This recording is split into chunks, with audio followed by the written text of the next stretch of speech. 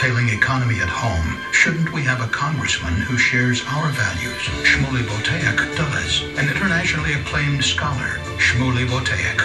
A listener who brings people together, Shmuley Boteach. An articulate defender of Israel, Shmuley Boteach. A plan to get our economy moving again, Shmuley Boteach. Finally, a values voice in Congress. Shmuley Boteach. the Patriot Prosperity PAC is responsible for the content of this advertising. If you have